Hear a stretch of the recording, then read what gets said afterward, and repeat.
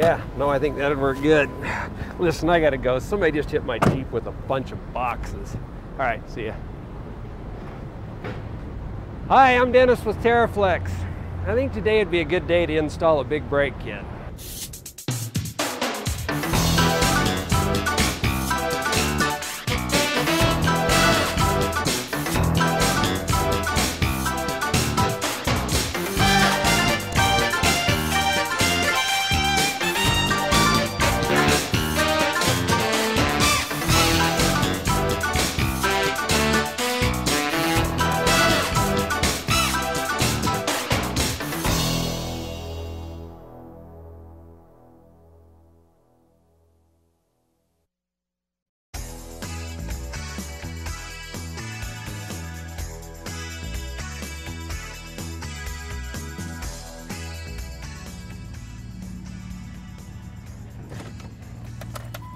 Okay, we're ready to install our big brake kit.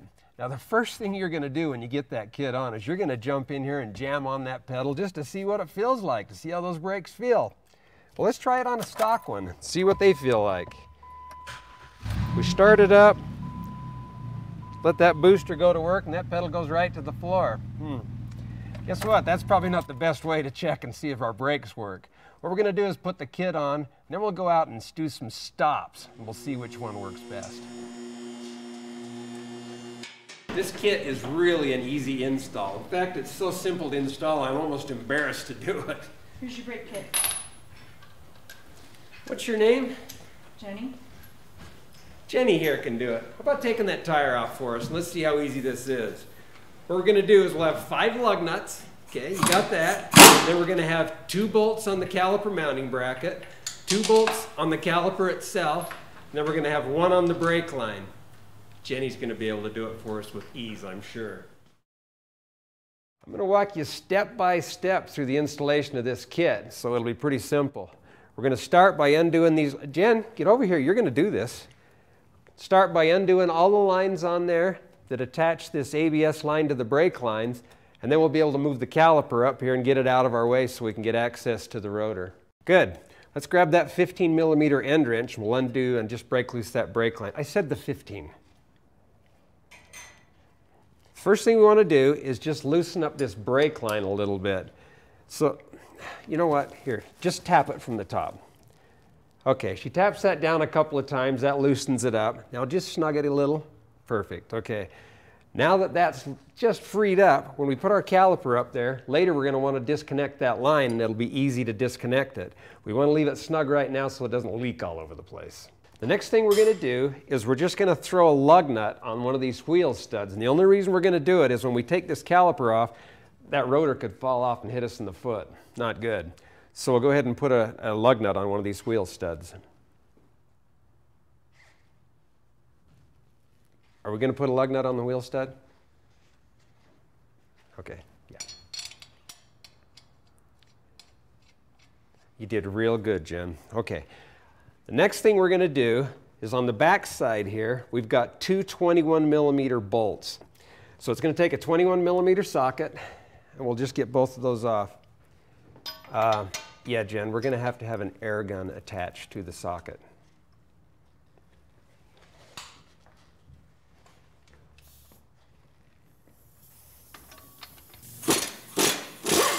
All right, good.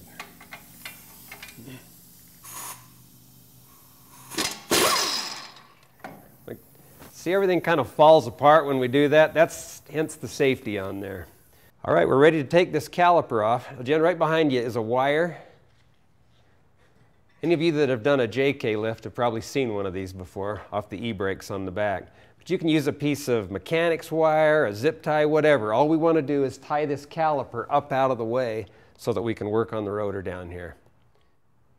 Go ahead and hook it to the caliper first. All right, now we'll take the whole assembly and we'll just hang it right in that hook.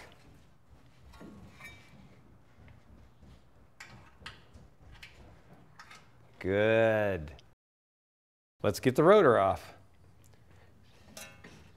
It's so hard to take off with that lug nut on there, isn't it? Yeah, there you go. Good. Okay.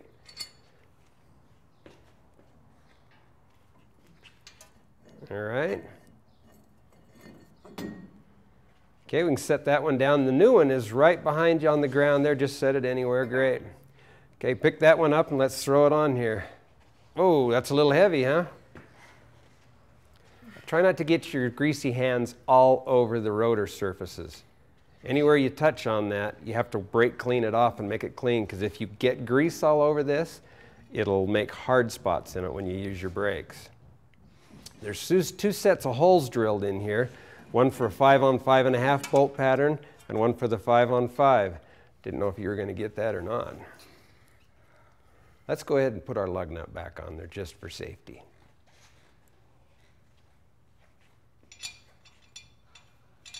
Okay, rotor installed. We're ready to put on that TeraFlex caliper. Before we do, let's grab these bolts. Remember the ones that we used the 21 millimeter socket on? These bolts, I call them the tightest bolts on earth. They need to be tight. We do not want our caliper falling off. So I'll put some Loctite on there just to make sure that they don't. The Loctite is in that bottle right behind you.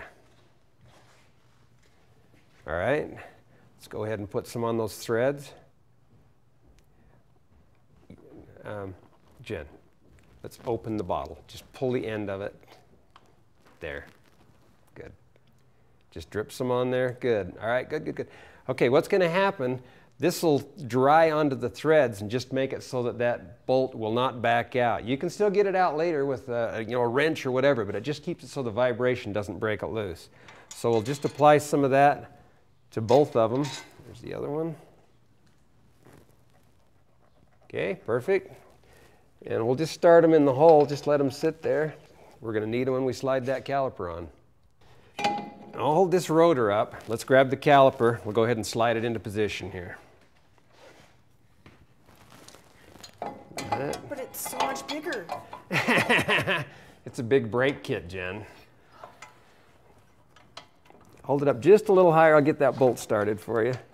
There you go. Perfect. Okay. We've got the lower bolt.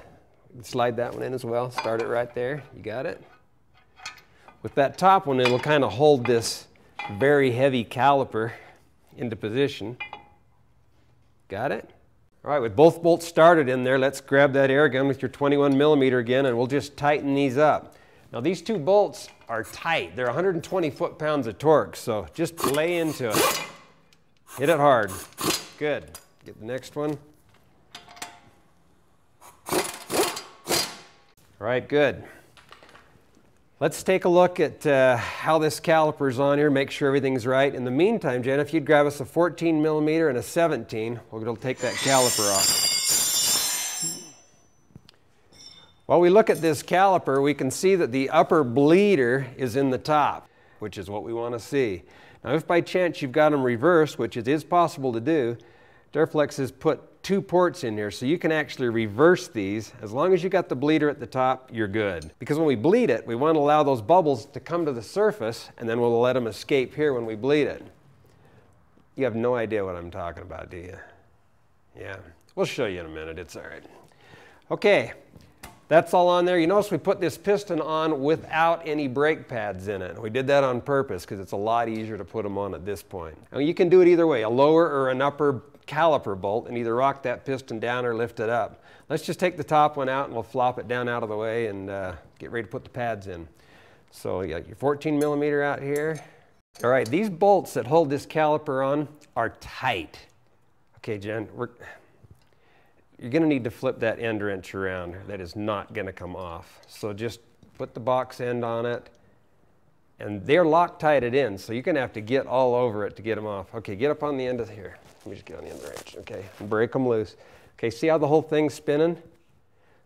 See that? So you need to put your end wrench on that bolt right there on the back side of it. Okay, to hold it, good. You'll find that when you get to the end, that bolt is still not going to come out of that piston because the Loctite is in there so much that it's going to hold it into place. So it'll wind out and you'll still have to push it out of the way a little bit to get the caliper to slide back. All right, we'll swing the caliper out of the way now and we've got all the room in the world to put the disc pads in. Just turn it over here. These disc pads have got some blue material covering the uh, anti-rattle, anti-squeak pads on the back. Just peel that stuff off and it's ready to go. So let's grab one of those pads and we'll just slide them right into the caliper mount. Now these clips on the end of these are a little bit unusual maybe to some that we've seen. The clips actually catch on the outside and they hold the uh, disc pad away from the rotor. So you just slide them in and that's how they go, just like that. So go ahead and slide the one on the back side. Good. You got the blue off.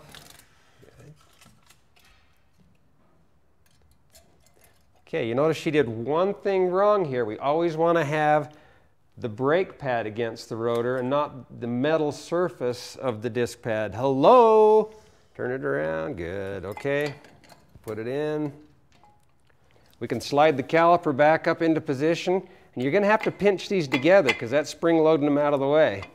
So we'll just kind of slide that in. And you've got these little clips that are holding, they're actually an index for the pads that you're going to need to work those pistons past to get them on. And it'll go right on. All we need to do is retighten that caliper mount bolt. Now this, this can be kind of tricky because that bolt out here has got so much Loctite into it, sometimes it's hard to turn. So Jen, if you want, you can turn this side. So you can actually turn that one and it'll start it. And once you've got it started, just go ahead and run it tight. Um, I'm going to have her put just a little bit of Loctite on here just to replace it. There we go. We do not want those bolts coming out. There are brakes.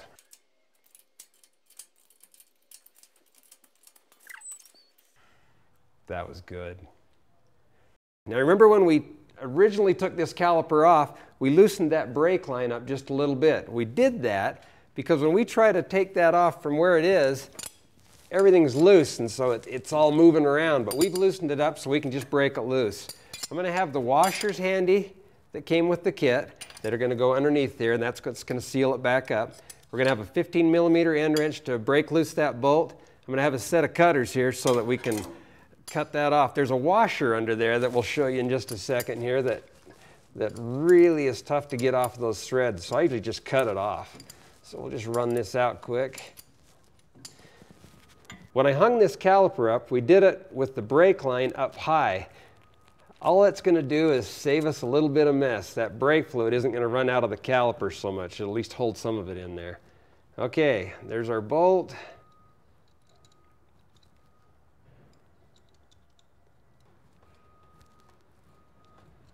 Okay, there's that one, that one. I'm just going to pinch this to hold the brake fluid in it while we play with this other washer.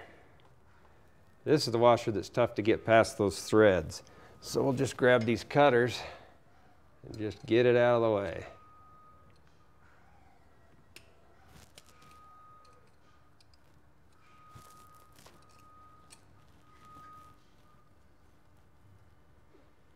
Throw our washer back on it.